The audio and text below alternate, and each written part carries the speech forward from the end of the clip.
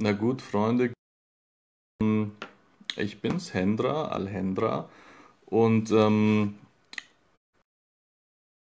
jetzt so eine Art Notruf zu machen. Und zwar Hintergrund ist der, der Hintergrund ist sehr einfach. Äh, Facebook hat, nachdem ich äh, bestimmte Sachen gepostet habe, äh, zum ersten Mal, ihr müsst euch vorstellen, ich bin äh, bei Facebook seit dem Jahr 2006, also seit 14 Jahren. Und Facebook hat mich noch nie gefragt. Äh, ich habe natürlich, ich durfte nicht live streamen, darum streame ich hier jetzt auch auf Facebook, hallo, äh, über äh, meinen anderen Account. Ähm, ich glaube, 80 Tage durfte ich nicht live gehen, 180 Tage und auf jeden Fall, ich bin seit 2006 bei Facebook und zum ersten Mal jetzt, nachdem ich gepostet habe, und dazu komme ich gleich, ähm, hat Facebook äh, meinen Account gesperrt und möchte, dass ich meinen Ausweis hochlade. Ich habe meinen echten Ausweis mit bei Facebook hochgeladen. Ich bin seit 2006 bei Facebook und äh, ich hoffe, dass ich dann äh, demnächst freigeschaltet bin. Äh, und zwar, äh, ich ich komme äh, erst einmal zu meinem YouTube-Kanal, der gesperrt wurde, ich glaube am 26. Februar oder März. Und zwar wurde der YouTube-Kanal von mir völlig entfernt, indem ich im Prinzip die Psiram-Leaks äh, hochgeladen habe von Manuel Cornelius von The False Flag im Grunde genommen Parallelen gezogen habe zwischen Psiram, den Goldenen Aluhut, Sebastian Bartoschek, Sonnenstaatland Forum und Zentrum Politische Schönheit. Und jetzt wieder. Ähm, Martin Lejeune ist ja beim Volkslehrer ein bisschen in er nicht schnell ähm, so eine Art Gegendarstellung gepostet hat auf seinem YouTube-Video. Aber Martin ähm, ist ein sehr äh, akribischer Journalist und er hat ähm, er hat daran gearbeitet, diese Kommunikationsstelle Demokratischer Widerstand, KDW, in den Strukturen aufzudecken und Sachen zu leaken. Und Martin Lejeune hat am 20., also kürzlich erst, äh, seine Arbeit präsentiert und äh, diesen Theaterverein und seine Strukturen äh, vorgestellt und die Leaks sozusagen gepostet auf Facebook äh, von seinem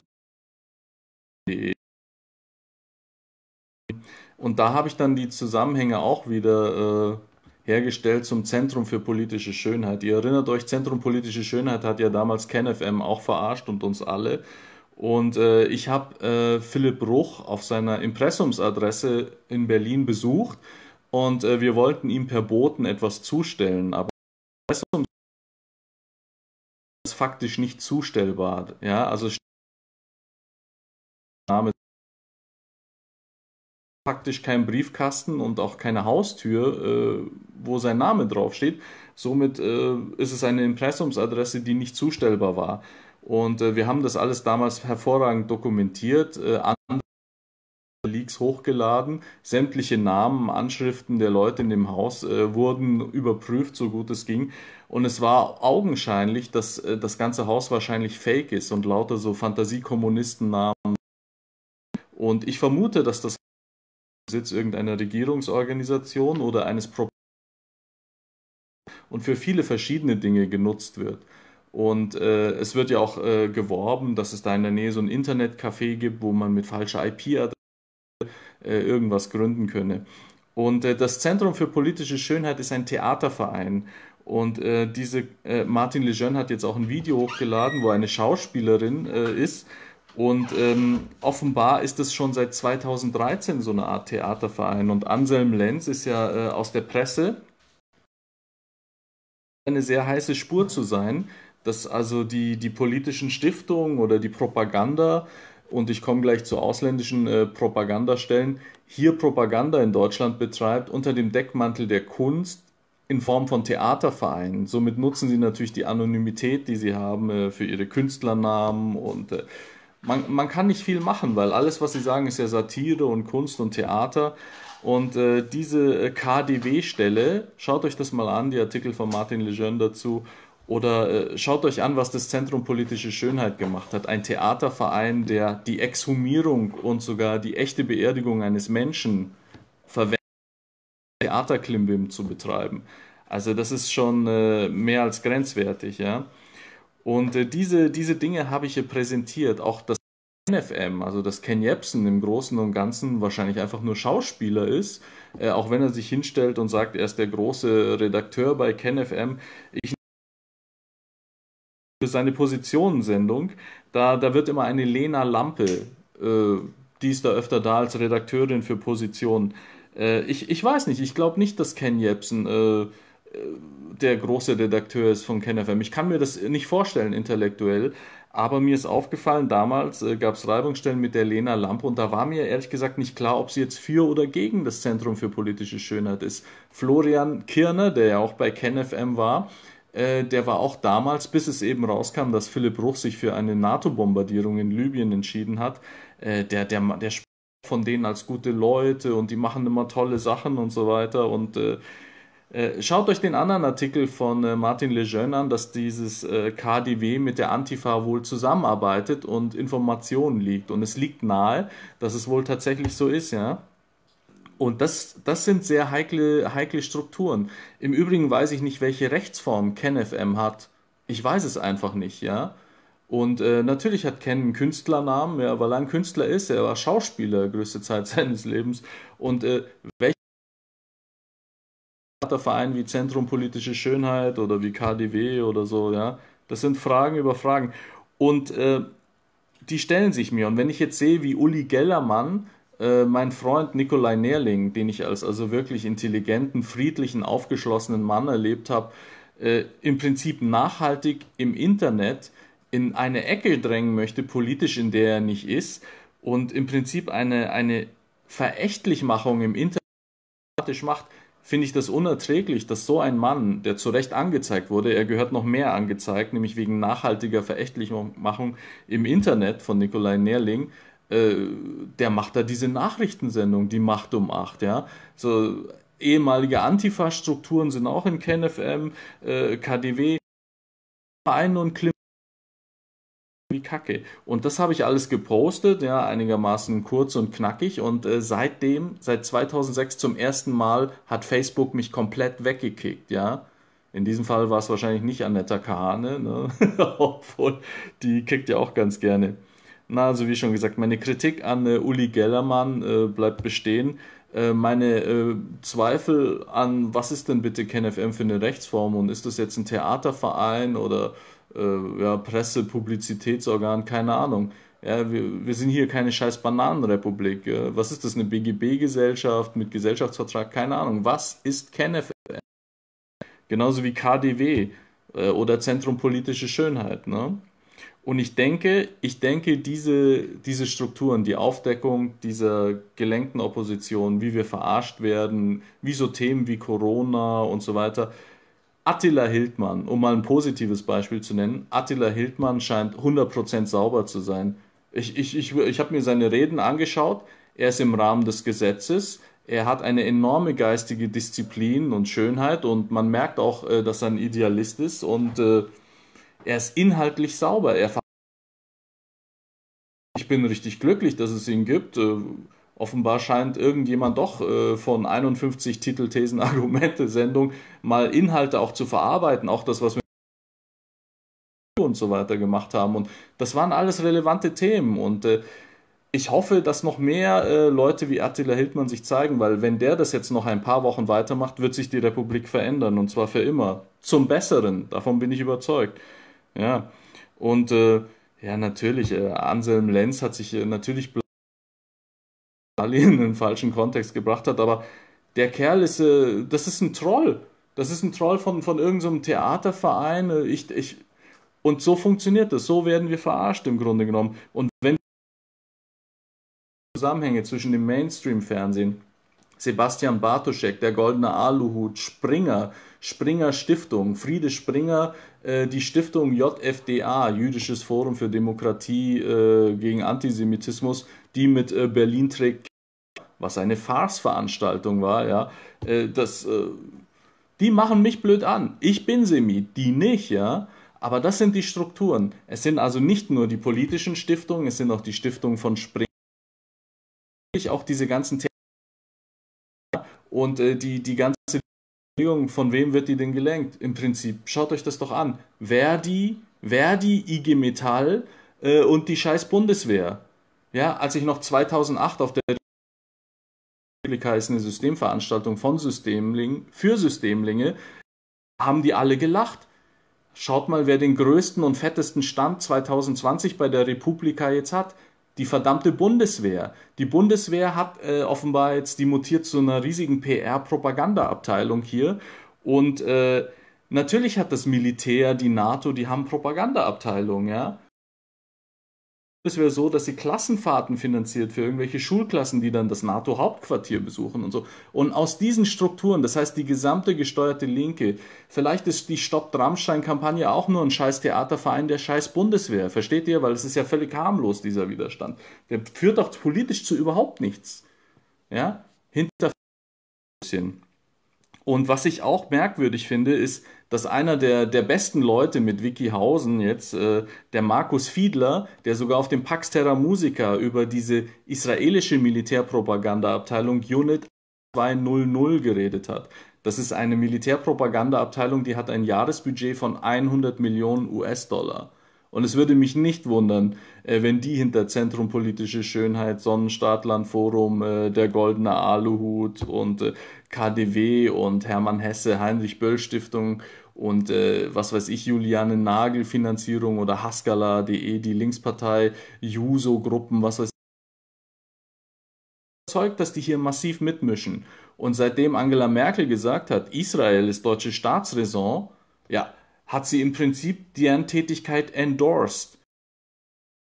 Ja? Wir könnten politisch nicht mal was dagegen tun, wir sagen Ja und Amen. Genauso wie damals, als Karl-Heinz Hoffmann, äh, gegen den plötzlich ermittelt wurde, weil ja seine Wehrsportgruppe äh, in mehreren Bundesländern tätig sei.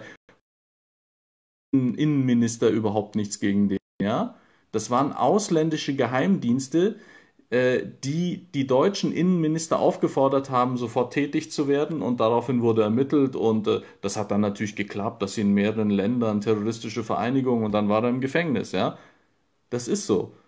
Angela Merkel hat mit ihrem Satz, Israel ist deutsche Staats alle Aktivitäten der Militärpropagandaeinheit Unit 8200 in Deutschland endorsed und äh, der gesamte Verwaltungsapparat äh, muss Ja und Amen sagen, ja. Gut, was habe ich hier noch?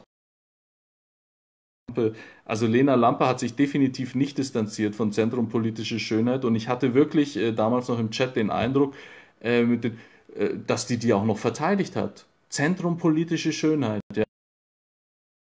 Hat diesem Anselm Lenz die bis zum russischen Fernsehen, wie diese Schauspielerin, schaut euch das bei Martin Lejeune an, äh, treffend sagte, das war Ken Jebsen. Das war ja eine redaktionelle, absolute Glanzleistung, ja, totales Mega-Fettnäpfchen. Herzlichen Glückwunsch dazu, Kenny, wenn du das zu verantworten hast. Mein Gott. Naja, was soll ich noch sagen?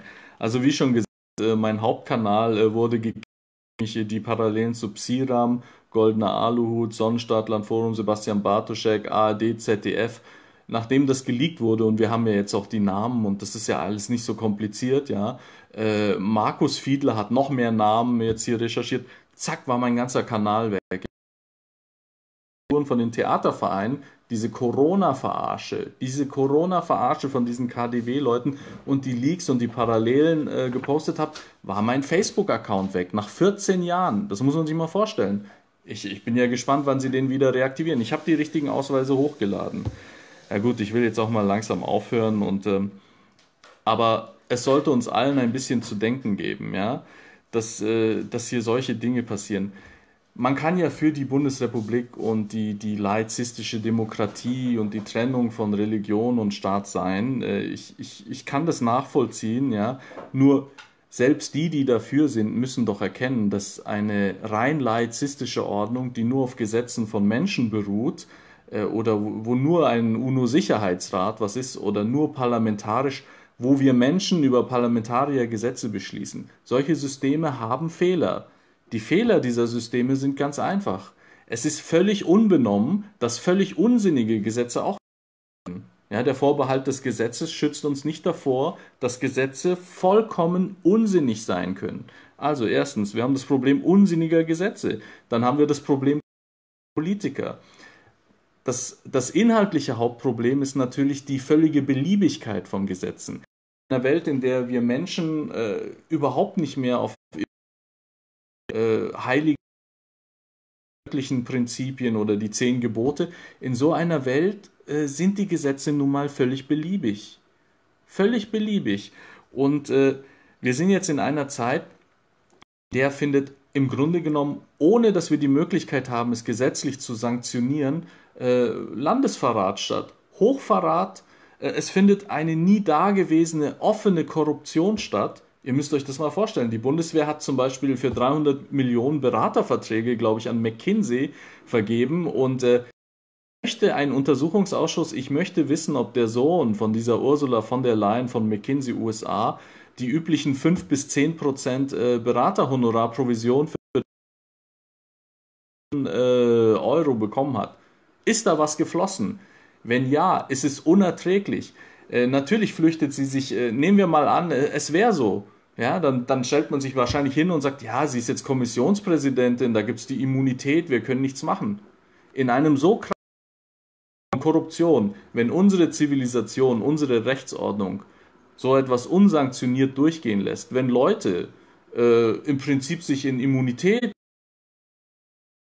wie, wie europäische Kommissionspräsidentin oder sonst was, wenn unser Parlament nicht in der Lage ist, diesen Leuten die Immunität zu entziehen, ihnen zu entziehen, alle Leute, die jetzt äh, vielleicht im konservativen Lager sind und sagen, ja, wir wollen keine Schuldenunion, äh, ich kann Sie beruhigen. Ursula von der Leyen hat an allen Parlamenten vorbei äh, ein EU halt, glaube ich, im Volumen von 750 Milliarden Euro. Einfach so beschlossen. Als Kreditaufnahme. Ja? So. Sie hat praktisch das, das Doppelte wahrscheinlich von den ganzen Steuereinnahmen der Bundesrepublik. Einfach so, äh, ohne Parlamentsvorbehalt, ohne gar nichts. Das, das findet jetzt einfach als Neuverschuldung bei Privatbanken statt. Und jetzt könnt ihr mir sagen, was ihr wollt, aber welche Person war äh, als Politikerin einfach so zu beschließen? 750 Millionen äh, Schuldenaufnahme für irgendwelche Corona-Pakete, weiß der Geier. Naja, also äh, wir leben nicht in der besten Demokratie und äh, unser, unser System hat also massive Mängel. Ja? Korruption, Inkompetenz, Verrat, äh, viele andere Dinge, für die wahrscheinlich vor 50 oder 100 Jahren noch Köpfe gerollt werden, gehen heute einfach Hand in Hand, bleiben unsanktioniert. Oder habt ihr irgendwie erlebt, dass mal äh, Politiker wegen Korruption oder sonst was in den Knast gekommen werden? Nix. Ja? Das ist die Qualität unserer Rechtsordnung, unserer Realität. Naja. Also es ist ja prophezeit, eine Gesellschaft äh, irgendwann mal vom vom Abschaum regiert wird. Genauso ist es prophezeit. Es wird eine Zeit kommen, in der wird der Abschaum regieren und ähm, um jetzt weniger religiös und pathetisch, jede große Gesellschaft, jedes Großreich, in dem Korruption, Amoral und fehlende Sanktionierung äh, Realität wurden, jede dieser Gesellschaften ist untergegangen und äh, der wirtschaftliche Kollaps steht mehr oder weniger sowieso bevor. Äh, es ist, es ist nur eine Frage der Zeit, bis diese Gesellschaft, in der wir jetzt sind, untergeht. Da muss man kein Prophet sein. Das, äh, das zeigt sich an der Inkompetenz unserer Politiker und ihrer hilflosen Entscheidung, die, die ihr ganzes, äh, die Kompetenz an andere abgegeben haben. Und zu Attila Hildmann und äh, diesem äh, Hoffenheim Heini Dietmar Hoppe oder wie der heißt von SAP, ja, soweit ich weiß, ist eine der Hauptvoraussetzungen von SAP äh, immer noch Windows von Microsoft, ja. Und ähm, ein Friedensaktivist, der auch äh, Apps produziert, Windows Mobile, ähm, äh, hat eine ganz tolle App auch gemacht über Nahverkehr und alles. Also so eine Handy-App äh, ist nicht so kompliziert zu machen. Ich weiß nicht, ob da so viele Millionen dafür nötig waren, ja, über 60. Das ist äh, mit Sicherheit unverhältnismäßig. Äh, für ein Projekt, was in so kurzer Zeit abgeschlossen technisch so leicht zu machen, wie Attila Hildmann zu Recht sagte, eine 16 Megabyte App, äh, das ist überdimensioniert, überdimensioniert. Da braucht man natürlich auch einen Untersuchungsausschuss. Sind wir jetzt schon römisch dekadent, dass wir sagen, ach ja, 68 Millionen für eine scheiß Handy-App? Zeig mir mal eine verdammte Handy-App, die so viel kostet. Die gibt's gar nicht. Also das ist so völlig... Versteht ihr, das meine ich. Naja, jetzt will ich mal wieder aufhören. Tut mir einen Gefallen und geht auf Hendra Alhendra 02 und abonniert alle meinen Kanal, weil äh, ihr seht ja selber, die technischen Lösungen, um das zu umgehen, führen zu qualitativ schlechten Aufnahmen und ich brauche äh, wieder eine Mindestanzahl an Abonnenten, damit ich mit dem Handy live online gehen kann. Es sind auch viele gestorben, viele wurden einfach beseitigt. Sehr viele aus der Truther-Szene in den 90er Jahren bis 2010, gerade im Raum Berlin, sind einfach verstorben. Ja, das ist ein Thema, über das haben wir überhaupt noch nie geredet. Ja. Und drückt Manuel Cornelius von The False Flag die Daumen und diese Psiram League Geschichte ist sehr wichtig und ich würde gerne bei Gelegenheit ähm, in einer sehr wichtigen Sendung, also die inhaltlich das alles schön abrundet, äh, meine Theorie in Verbindung bringen mit den Psiram-Leaks und der Ideologie und der Freimaurer. Und dann können wir auch äh, mit Ivan Wojnikow reden über den Ordo Templis Orientis und äh, wie Jack Parsons, der Stoffes, in seinem Buch geschrieben hat, dass in seinem Traum ein Mann namens Dajjal, das ist der Antichrist, ihm gesagt hat, wie der Raketentreibstoff äh, zu äh, mixen sei. Er gilt ja als Erfinder des Raketentreibstoffs in NASA-Kreisen. Und wie er dann gesagt hat, dass er für die Vollendung der Weltherrschaft im Prinzip die Satelliten und die Raketentechnologie braucht. Und schaut euch mal an, wie unglaublich viele Satelliten zurzeit hochgeschossen werden. Ich glaube, nur SpaceX hat über 3400, die machen jetzt ein Wahnsinn super Internet mit ganz geringem Ping und das ist schön und gut, ja. Aber ich denke, die neue Weltordnung die Weltordnung, die wir haben nach dem Zweiten Weltkrieg, die sich gebildet hat durch die UNO, die Vereinten Nationen, äh, die Weltgesundheitsorganisation, das Finanzsystem, IWF, Weltbank und noch ist die Weltherrschaft, aber wir stehen kurz davor und äh, Zivilisation steht im Prinzip kurz vor dem Untergang durch das äh, strukturelle organisatorische Versagen. Ja. Ich habe mir hier ein paar Sachen notiert, aber vergesst es. Also wer ist gut? Attila Hildmann ist gut, Markus Fiedler ist gut, Martin Lejeune ist auch ein guter Journalist. Er ist ein bisschen schwierig äh, im, im Team, aber äh, seine Arbeit ist tadellos, lest seinen Blog und äh, ich würde mir wünschen, dass wir nochmal zehn Leute mehr hätten wie Attila Hildmann. Ja? Wenn der das jede Woche durchzieht, die Nummer und keine Fehler macht, sich äh, nicht hinreißen lässt zu dummen Aussagen, das wäre ein großer Sieg und ich wäre sehr glücklich, ja. Also jetzt macht's gut, Freunde. Ich höre jetzt auf. Es war nur, weil ich eben stinksauer war, dass Facebook zum ersten Mal jetzt, nachdem ich die Sachen gepostet habe, äh, meinen Ausweis will und einfach alles weg. Macht's gut, Freunde. Tschüss. Ciao.